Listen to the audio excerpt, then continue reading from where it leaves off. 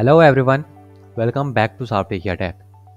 In today's tutorial, I will show you how you can add a pricing list like that in your WordPress page or blog using Divi Builder. I have added this using Supreme module for Divi add-on plugin. How to add it? For this, first you need to log into the dashboard.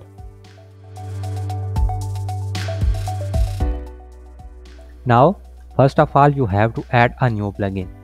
For this, hover over plugins and click on add new. In search bar, search Supreme Module Lite. As you can see, the Supreme Module Lite Divi theme built by Supreme Modules. It has 100,000 plus active installations. Click on install now. After installing, click on activate.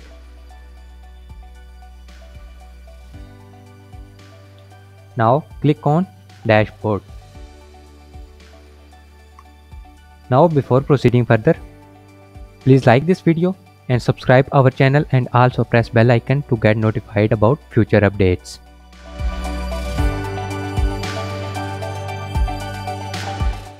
Now go to post or click on pages. Select a page in which you want to add this pricing table. I want to add this lay one page so I will click on edit with Divi. Now the Divi page builder was opened. Now scroll down to the place where you want to add pricing list. I want to add there so I will click on this blue bar. Now click on this plus button and then click on this regular section. Now add a single row. Now the modules will appear. Scroll down. Here you can see the Supreme modules. At the end you can see the Supreme price list. Click on it. Now to add a price list, click on this add new item. Here is the tax section. At the top you can add price. I will add $20. Now add your course or product name. I will add here course 1. Now here you can add some description about your course. Under text, click on image, click on this plus button and you can add any image from your media library. I will select a random image and then click on upload an image. Go to design, in image you can decrease its width. I will make it 5% so it will appear like that. Now scroll down in the text section you can change the text shadow.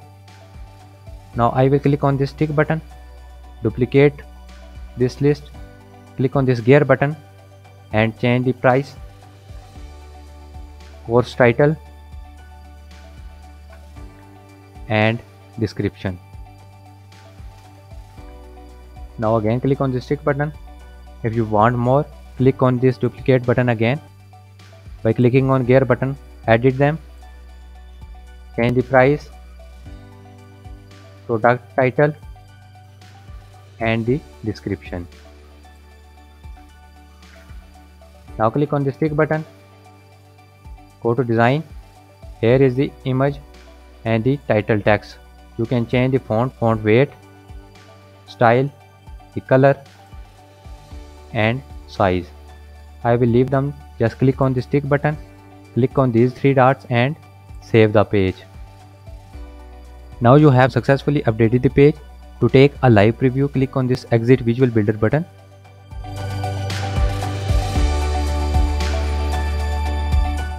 Now scroll down. Here you can see you have successfully added price list in your WordPress page. Hope you learned something new in this tutorial. If so, please like, share and subscribe our channel and also press bell icon to get notified about future updates about Divi. Thanks for watching.